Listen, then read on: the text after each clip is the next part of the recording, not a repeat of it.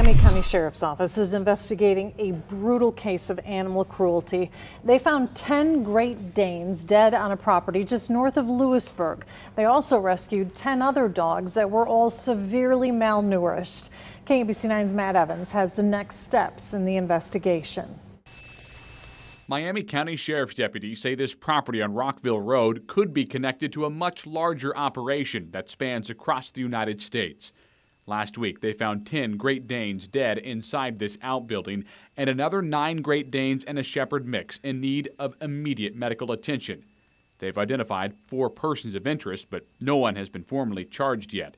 Since it's an open investigation, we weren't allowed to get video of the rescued dogs. Cleo, spin, spin. Good girl. But they were taken here to Daisy's Dane Sanctuary. These are the personal dogs of Sanctuary co founder Chrissy Scott. We are a 501c3, so we operate solely on donations.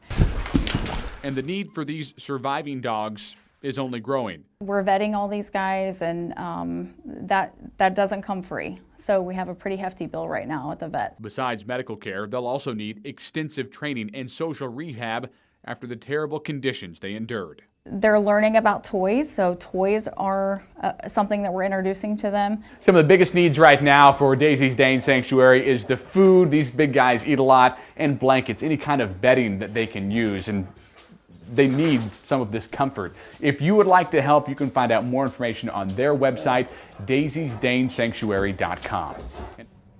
Aside from donating money and materials, Daisy Dane Sanctuary also needs volunteers to care for these dogs.